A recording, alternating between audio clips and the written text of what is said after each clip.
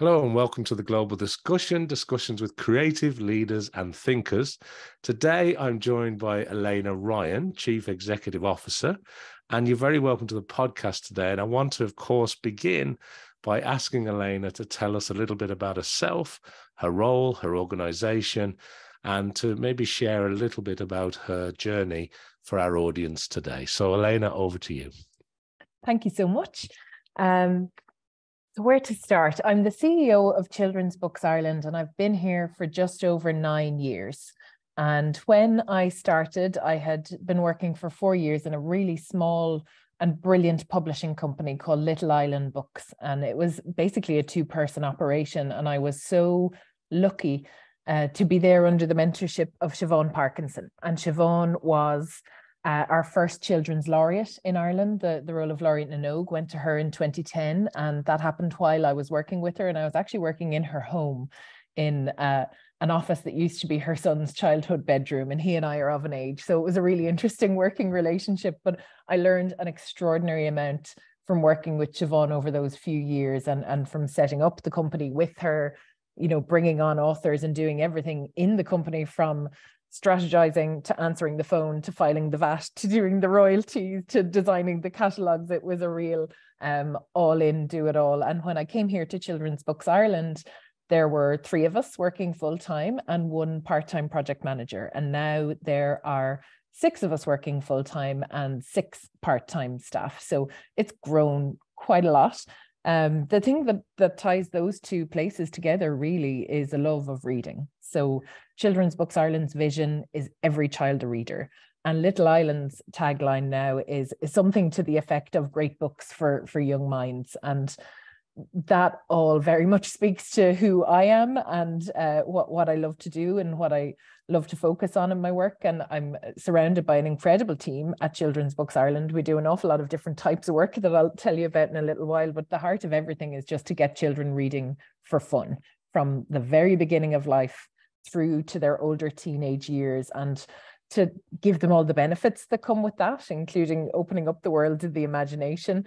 Um, and it's a, a, sort of an all encompassing role in the sense that the organization also supports authors and illustrators to do great work and supports the adults in children's lives to kind of share our enthusiasm and expertise with them where we can and make sure that they're able to guide the kids in their lives to find a book for them at the right time.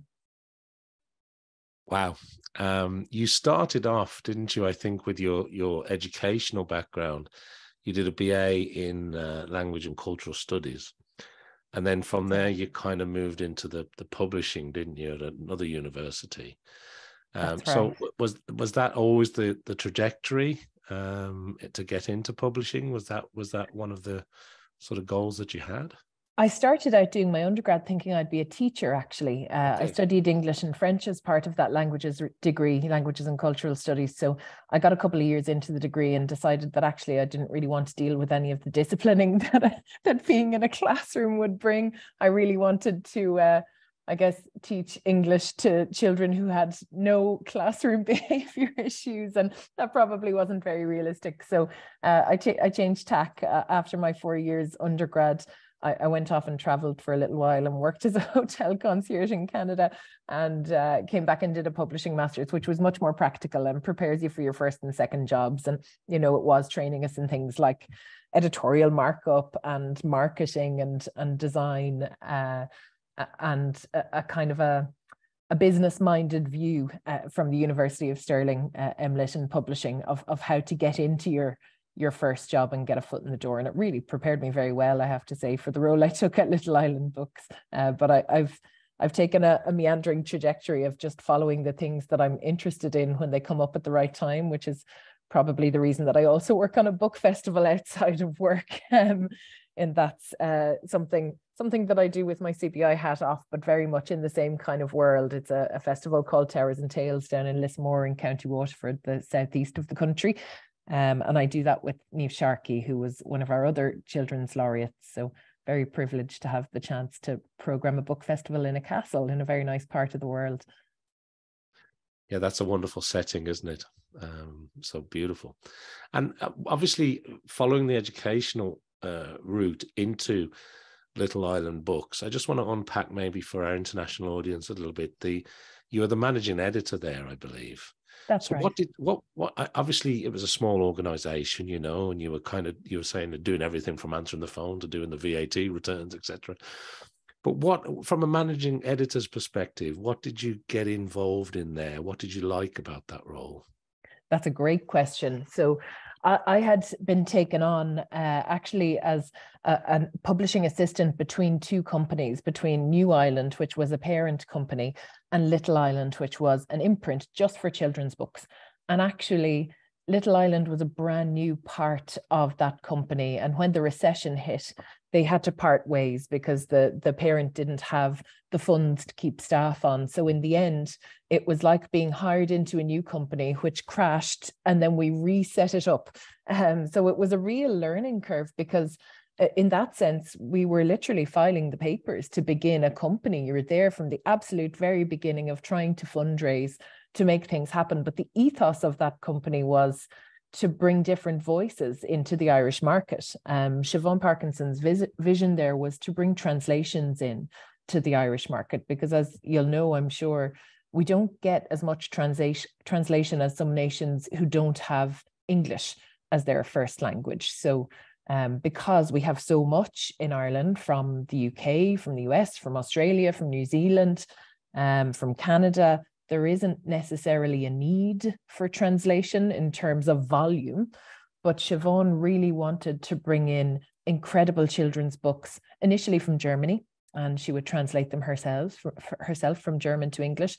And then we brought in books from from Sweden and from Norway and from all over the place. And it was amazing to be able to do that, as well as nurturing new voices in Irish writing. So we had the honor of publishing writers like Sheena Wilkinson and Deirdre Sullivan, who went on to win the Children's Books Ireland Book of the Year awards as they were then, the KPMG Children's Books Ireland Awards now, um, as well as many other accolades. And what I loved about it is working with the artists. So you get these writers who are trusting you with their work and you get to have an opinion on that and you get to help shape it and make it better and package it up and make it look beautiful and sell it, you know, to tell the world, look at this amazing book that I've heard about or that I've managed to read. And that was a really fascinating process and a really lovely process to be able to be the person who's there to kind of hold their hand as a new writer going out into the world. It's a real uh, privilege to be able to be in that position. Yeah, and it's interesting. I, am sure you're familiar with Literature Ireland and Sinéad Mac Aodha and the team yeah. there that are they're doing good work in terms of translating, not necessarily in the you know purely in the area of children's uh, books, mm. but they're doing some great work there in terms of that sort of promoting the Irish voice and the, the written word from Irish authors. And uh, but it's interesting as well to see the other way, bringing books into Ireland uh, from a translated uh, perspective. Yeah, it's about diversity of perspectives, I think, yeah. and that's something at Children's Books Ireland we really focus on. That you have to look at who the voices are who are getting published and what their perspective is and if that is the dominant perspective what our kids are absorbing when they read books. So i think it's really important that we have you know always a place for debuts and uh, you know nurturing new irish writing and new irish illustration coming through as well. Yeah and when you started at uh, cbi children's books ireland uh, did you go in as a director initially? Did you, you know, did you take on the role of chief executive officer, or how did that work for you? Yeah, the title changed, but it's the same role. So the the chief exec role was was known as director when I stepped in, and actually when we stepped more into a fundraising role, um, there was a decision taken from the from a fundraising perspective and from the board. The chief executive might make more sense to our corporate partners because you get a lot of directors in uh, in the arts who are actually the chief executives. But yeah, it's been the same role all along. And when I came in, it was um, myself and and Jenny Murray and Aoife Murray, and they're both still here, uh, gladly nine years later. And uh, uh, between us, we've um, we've managed to really, I guess, change the structure of the organization and and make it bigger and better. Um, but yeah, the the title may have changed and in a sense the role is the same but in another sense I've, it's been five or six different jobs you know there's been a real journey i guess in growing the organization and having a bigger team um, bigger team requires different structures different supports uh, a different configuration of the space in here, you know, to get down to nuts and bolts. Um, but we we've changed a lot in terms of how the organization has positioned itself as well. We're an arts organization, we're also a charity, and we've done a lot of upskilling work in fundraising over the last four years, um, which has really helped us to achieve the ambitions that we've had uh, in what we're able to do. Yeah, and it's obviously working because obviously you said you you know from that small team you've got a, a larger team now of people uh, working with you, and from a uh, funding perspective, the funding of the arts and the funding of particularly in terms of literature or children's books, um, it's quite challenging at the best of times. A lot of organisations that I'm familiar with they really struggle with that area. So, were there, were there any sort of key things that you had to do as an organization, as the chief executive leading the organization, to really get yourselves into the position where funding could be delivered in a meaningful way to help you sustain and grow the organization? Yeah, we had to take a risk.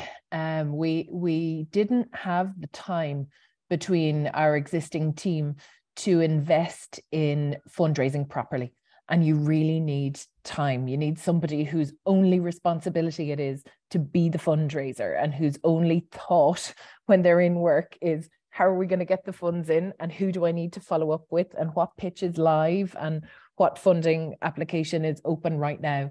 Um, so we approached somebody in 2018 to come and work for us on a contract basis two days a week.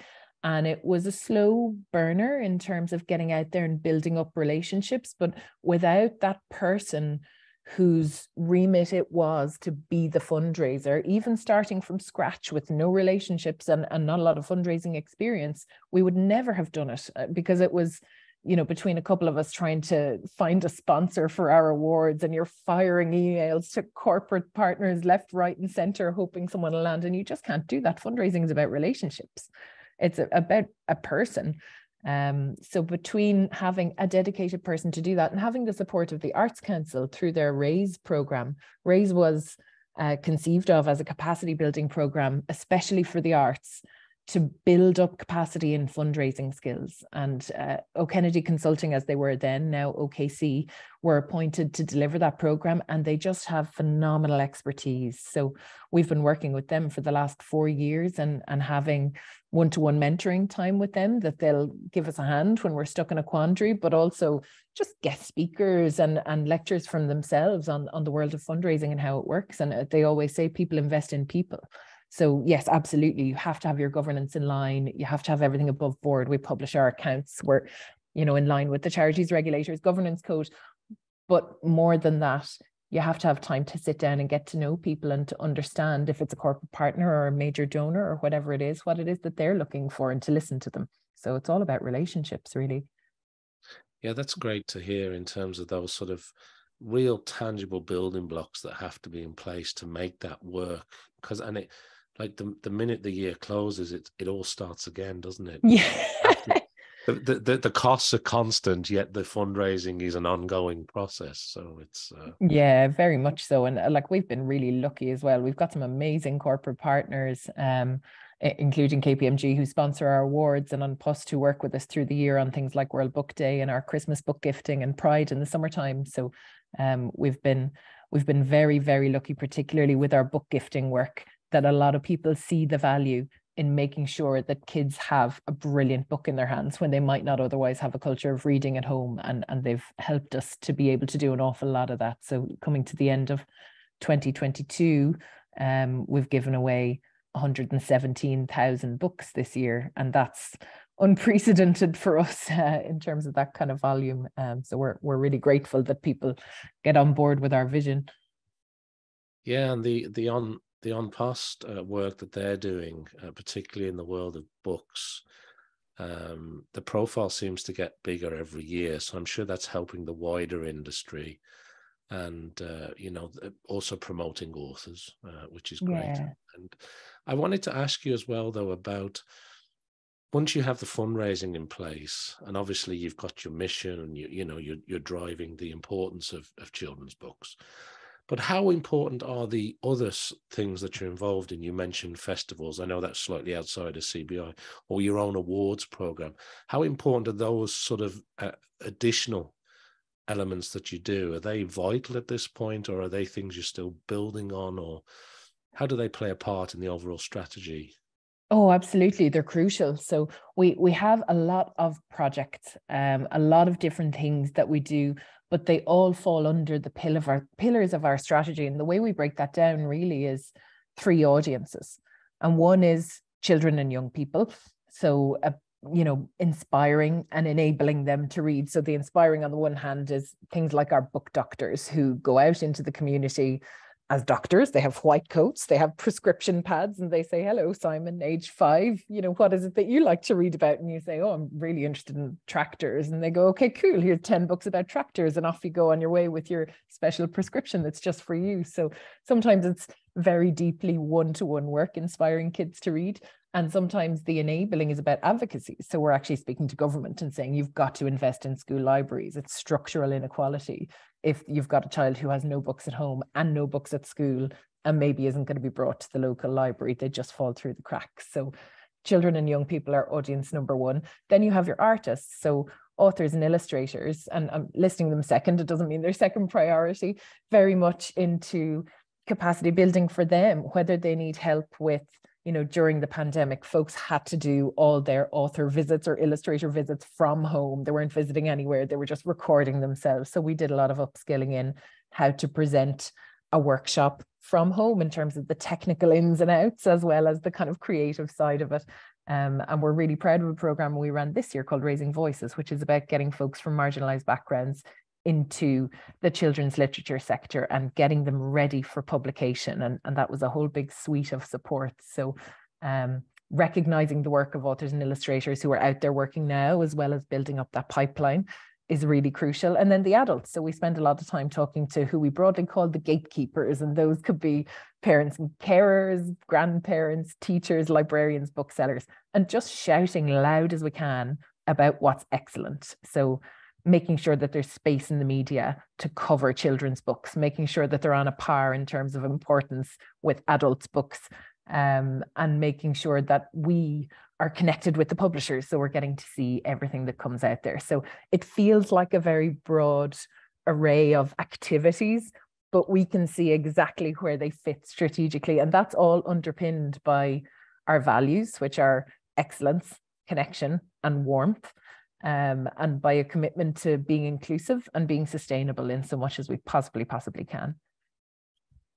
I love warmth as a value. You don't hear that very often. In fact, I'm not sure I've ever heard warmth as a value. I think that's beautiful.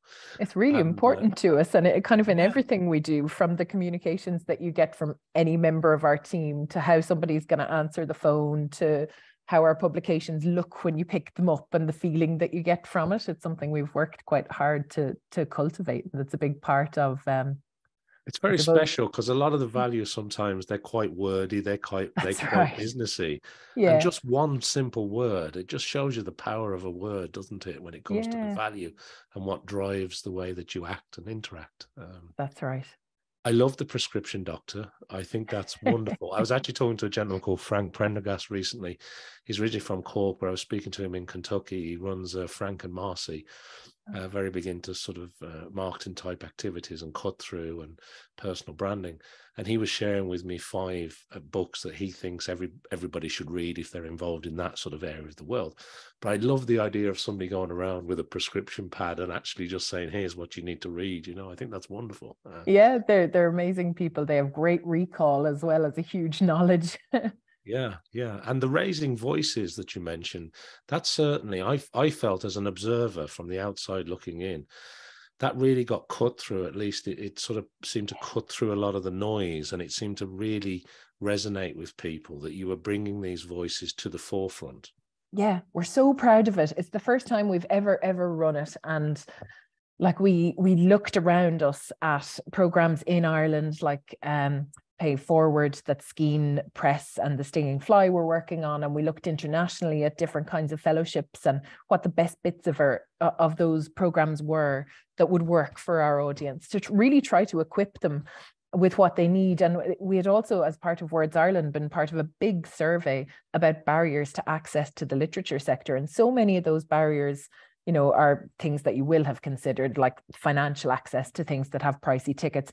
But some of them are so intangible, like a feeling that you're not ready to engage in courses, you know, a lack of knowledge about a particular course, or just a feeling of being outside of a sector and not knowing how to get in. So the program that we built for our six fellows, our Raising Voices fellows, was really to include things like coming to our conference and for us to introduce them to people to literally say this is connor this is nene or this is jen you know there, there are six of them who are four writers and two illustrators and their talent is extraordinary. But they've been introduced to a mentor they've been given a critique by an art director or an editorial director in a publishing house. So already they've seen a little bit of the publishing process. They have connections with people now in publishing houses they're on social media they're connected with us and we connect them with other members of the community who are writers and illustrators and it breaks down a lot of the otherness of a community that you can kind of see from the outside but not quite access and that to us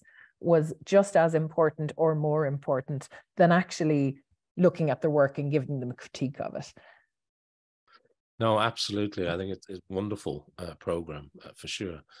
Um, I can't go any further without asking you about your favorite books. Um, so uh, whether they're children's books or, or, or other types of genre uh, and categories of books, but when you read yourself, um, is are you stuck into sort of papers and downloads and digital? Are you picking up a hardback book and breaking the spine on it? And what what attracts you? What are the sort of books that you love to read, or anything that you'd even recommend to our listeners? Yeah, absolutely. Um, so I I am a, two kinds of reader. I I love a paper book. I have a Kindle somewhere, and I think I read it when I got married on my honeymoon. so it's not in frequent use. Um, I, I love a paper book and I love an audiobook. Um, and I'm not really an ebook kind of girl. So at the moment, I'm listening to Tomorrow and Tomorrow and Tomorrow by Gabrielle Zevin, uh, which was recommended to me by a lot of writers, mostly YA writers. So actually, I thought it was a young adult book for a start, and uh, then quickly realized it wasn't. Uh, and I'm really enjoying that. But um, I'm also part of a book club, and oftentimes book clubs are for folks who need new ideas and i have no shortage of ideas of things to read here because we're we're drowning in books but my book club is called book club of shame uh, for books that you really should have read but you haven't for whatever reason and that could be I've never read sci-fi. I should really read Philip K. Dick, or this is a Pulitzer Prize winner, or you know, I've only ever read um, Catcher in the Rye by J.D. Salinger and, you know, not read anything else of his. So let's read Franny and Zooey. So I love that particular book club because it gives me great exposure to really interesting people, but also to books that I might not have come across. And, you know, the discussion with people who love to read around those books, it kind of doesn't matter whether you enjoyed them or not.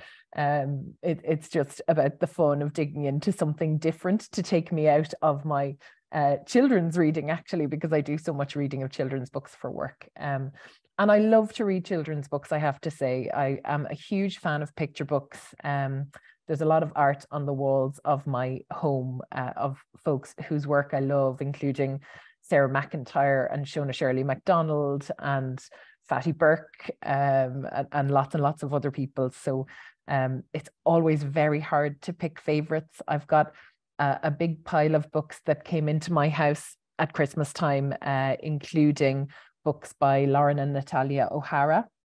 Gorgeous, gorgeous book. Um, uh, also by Lauren O'Hara um, called the the Magic of the Ballet. Uh, I've got a stunning Faber book of bedtime stories illustrated by Sarah McIntyre that has a broad cast of diverse writers. I've got the new Chris Haughton coming into my house. Uh, well done, Mummy Penguin. We love Chris. Uh, he has such stunning, stunning work. And Chris Judge and Eoin Colfer's book, uh, Cloud Babies. I'm a huge fan of Paddy Donnelly, and lucky me, he does about six books a year. Uh, but Fox and Son Tailors was one of the, my best of 2022 in illustration. Um, and Steve McCarthy is another stunning illustrator. I love, love, loved his book, The Wilderness. Um, I, what I, I always knew I loved Steve's illustration. He had done three books of nursery rhymes with Sarah Webb, But what delighted us all was that he's a wonderful writer. He has such a way with words. They really are playful and gorgeous and make me smile. And the last book that I'll mention is Be Wild Little One by Olivia Hope, which has a very different feel. Uh, it's illustrated by Daniel Egnéus and it has these kind of sweeping vistas of nature scenes. Um, so flocks of birds across the sky and a view from under the sea and a great big dandelion clock. It's these stunning, stunning um, nature scenes. And Olivia's writing is a real kind of instant classic. So uh, that was a, a big whistle stop tour through some of the things that I'm reading at the moment, but uh, that's a dangerous question to ask a woman who works in books. Listen, I had to ask. It's it's really important, and uh, you've shared some really wonderful, uh, wonderful books and authors, and you mentioned some illustrators as well, because often people don't discuss the illustration enough because it really tells the story in its own right, doesn't it? And there's some wonderful illustrators that you've mentioned there. There are, and I think that the best thing for children who are reading illustrated books is that the the best picture books are doing something different in the pictures to what the text is that telling them. So, you know, a book like Meep, which is written by Máire Zepf and illustrated by Paddy Donnelly, it's an Irish language book about a robot who gets blasted off to Mars to take pictures of the aliens. And of course, there are no aliens as far as Meep is concerned. But if you're reading this with a child, they're going, look, it's behind a rock. I can see it. And the, you know, the text is saying, oh, Meep looked everywhere, but there were no aliens. And of course, they're they're doing something different with the pictures and that's the wonder of a picture book is that it puts the child as its first reader and they can understand it even if the text isn't telling them what's going on. It's brilliant. And you mentioned audiobooks as well when you were speaking there and you know i've been a fan of audiobooks. I love i love you know physical books um, but I, i'm also a big fan of audiobooks and i'm just interested in your view particularly in the the area of children's audio. Um, how important the voice actor is or the voice oh, you know, yeah. the person actually reading the story. And um, are you involved in that area from children's books ireland or are, are, authors coming to you and they're very keen to lead with audio now or is it still all about the written word in your world? Audio tends to stem from the written word. So um, as a listener i think it's crucial that you've got a good voice actor and sometimes writers will read their own work and be amazing at it. So Dave Rudden reads his own uh, Knights of the Borrowed Dark trilogy, and he's wonderful. Dave comes from a, a, primary teaching and drama background and, and has a great big booming voice when he needs to have one, and he's excellent. Uh, David O'Doherty, who's also a comedian, reads The Summer I Robbed a Bank, and it's a beautiful read. I love it. Um, my kids are listening to some of the Roald Dahl classics at the moment, and they're read by people like Kate Winslet and Chris O'Dowd, and that's a joy to listen to.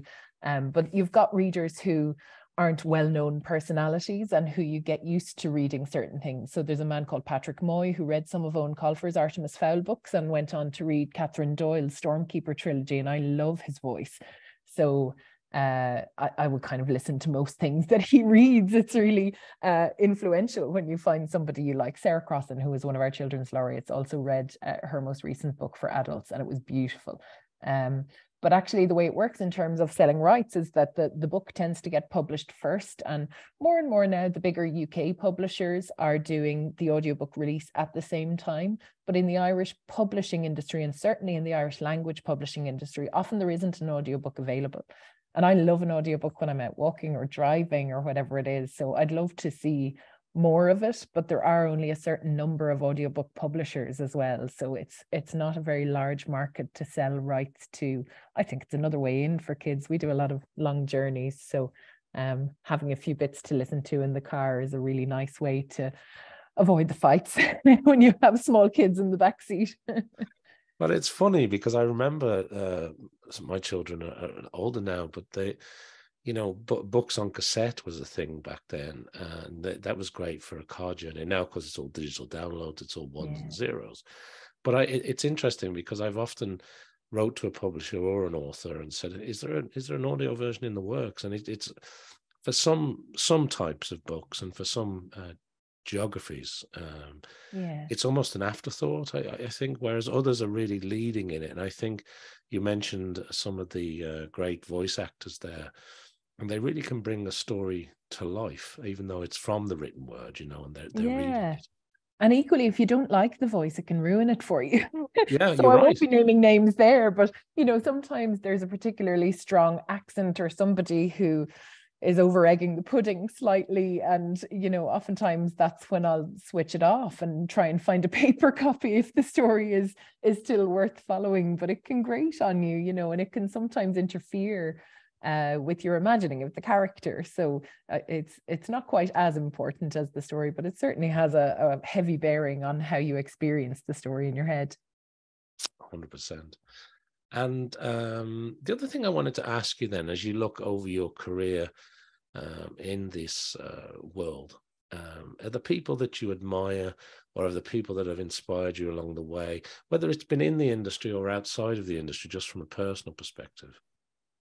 I find that such a hard question because there are so many people that I admire in the arts, and it's a really extraordinary position to be in that I get to meet them and work with them and know them as people.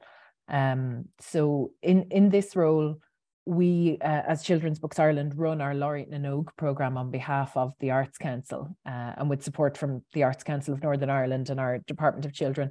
Um, and that means that we get to work with folks like Eoin Colfer and PJ Lynch. Um, I mentioned Siobhán Parkinson and Niamh Sharkey, um, Sarah Crossan and Ní Ghlinn, who's our current laureate. Astonishing, incredible artists whose work is just phenomenal. And eh, getting to spend time with them and see the way they work and see the way they think behind the scenes has been a real honor and especially you know we work with so many children's authors and we run a conference every year and it's like two days of ted talks in a lovely cinema in smithfield in the center of dublin and through that we get to meet that kind of person internationally so illustrators like mac barnett and Jon Klassen and um, people like our own mary murphy who will be so generous with their information uh, that you get to see behind the curtain. We we once ran a, a, conference on the theme of failure, and we invited David Roberts, who's the creator of the Dirty Bertie books, among various many many other things, um, the the Ada Twist series and all the other Questioneers, and he was so generous. As was Jon Klassen, as was David Mackintosh, all illustrators, in, in showing us their terrible, terrible work that never saw the light of day. So I admire all of those creative people around us all the time who have such genius in how they bring their ideas to the page and how they understand their audiences and the other cultural leaders who are around me as well so people like fiona Kearney down in ucc in the glucksman gallery um, is such a clear brilliant thinker my own predecessor here mags walsh is a phenomenal person who's currently at the arts council working on um, the creative schools program was previously at the british council um, there are any number of incredible people working in the arts. And uh, I, would also mention my own immediate colleagues because I'm very, very lucky to have an amazing team around me, all of whom have their own um, different skill set and and complementary skills. So it's a very hard thing to pin down, Simon. that's that's a bit of a fudgy well, answer, think, but it's a tough that's thing. A great, a great answer because, um, and it, it is uh, sometimes you you reflect, don't you? And you go, do you know what? It, I'm in a really nice position, you know, and it, sometimes you have to sort of stop and and just have a little think about it, isn't it? And to be able to interact with all the that that wealth of talent and inspiration and passion and yeah. knowledge and expertise, and there, there, seems to be an openness and a willingness to share in lots of lots of uh, areas. So it's wonderful to hear. Um, what as you look forward to the year ahead, um, what are you most passionate about? What are you looking forward to? Uh, what's on the horizon for uh, the Children's Books Ireland This is a year of big thinking. So, uh, our strategy stretches through to the end of 2023. So, this year we've got uh, quite a few of our team who only joined us in the last six or seven months. We've got a few new board members who joined us at our last AGM in September. We'll be planning ahead to a new strategic plan. We'll be finalizing our quality, diversity, and inclusion plan, and we'll be doing some work on sustainability and getting um, some some solid practices and plans documented there as well. So that's really exciting because we've got so many projects that are kind of confirmed and and and running and and everything is happening really nicely with them in the background but it's going to be a year for reflection and making sure that we've you know not just that we've got our ducks in a row but that we're thinking creatively about what it is that we want to do in the next few years and getting all that energy from folks who haven't been with us for all that long and harnessing that to make sure that everyone's voices and ideas are heard is going to be a really exciting time that sounds good um, so look, I've asked you a lot there. We've we've covered a lot of topics in a relatively short period of time, but I want to ask you before we finish today. Is there anything else that you'd like to share with our worldwide audience? Is there anything you'd like to touch on that maybe we haven't covered today? I'd love to just um, to send folks on to to Children's Books Ireland.ie for a little look um, there's an awful lot on there, and I haven't gone into half of the detail of the things that we're working on. But if there is a child in your life, listener, whoever you might be, and you're thinking of getting them a present, I'd just say consider getting them a book, and we can give so much guidance. We spend an awful lot of time um, trying to put together really good, really clear guidance for folks who aren't sure where to start. And you know, some of the best advice that I've ever gotten is to do less and talk about it more from one of our smart directors on our board. Um, and I think if we can be any help to anyone, go check out the themed reading lists. I think a book is kind of the answer to everything in our world. So um, if there's been a celebration and you need a birthday present, go find a book for a kid who loves sport or a kid who loves graphic novels or a kid who loves reading historical fiction. Equally, if something tough has happened in their lives, go find a book that's about grief and loss or about first experiences or about feeling sad. Um, and I hope that we can be a bit of a resource to people and that we can point them in the right direction. Um, and now people will know where to find us. We're, we're everywhere on social media, and I hope that we can be of some use to folks. That sounds sounds great, Elaina, and uh, it's very interesting. It reminds me, I, I had a conversation recently with a gentleman called Angus Blair, who is um, is out in Egypt at the moment, but he's been a, a high financier, uh, corporate financier for many years. He's involved now in a number of businesses in sustainability and ESG. And uh, I was asking him something along the same lines, and he was saying that everybody's glued to their smartphones, and he he believes passionately that if people would read more, it would help with an awful lot of the conflict, the turmoil, uh, and the angst that's going on out there. So it's it's it's it's interesting to see from your perspective um, how you know picking up a book can be an answer to a lot of situations in yeah. life, can't it? You know, I think for parents it's so tough to see your child struggling with something, and for yeah. me, you know, having my own kids now, if there's anything going on, whether it's starting school, feeling lonely, something's gone on with a friend, there's a loss in the family, it, I know where to go because we have all these guides and, you know, all these books in our house as well.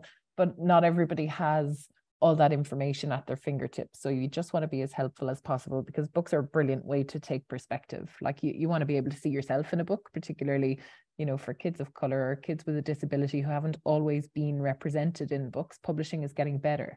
And we want to celebrate the books that are doing a good job of that. And then for kids whose experience that isn't, to give them a view into that without putting the burden of education on somebody in the real world is a really lovely, lovely thing. So yeah, more books, more empathy, eh? I think that's a wonderful note to finish on. So people can find more at children'sbooksireland.ie. Correct. Listen, that brings us lovely to the end of today's episode. Uh, it's been a pleasure to be here on the global discussion with Elaina Ryan, the Chief Executive Officer at Children's Books Ireland. Thank you to everybody who's watching and listening. And we'd ask you to like or subscribe or share the podcast and hopefully join us again for more discussions with creative leaders and thinkers. Thank you very much indeed, Elena. My pleasure. Thank you so much for having me.